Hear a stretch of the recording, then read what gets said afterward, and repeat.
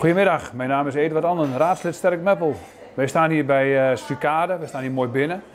En we hebben zojuist het informatiebord onthuld, waarbij uh, de geschiedenis wordt verteld van dit prachtige pand, het schip, de Vereniging 3 en het verhaal wat daarbij hoorde.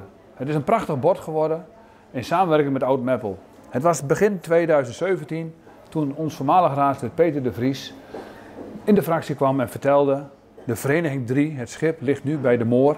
En het ligt niet goed. Als je het verhaal bekijkt, hoort hij bij Sucade te liggen. Nou, we hebben dat onderzocht.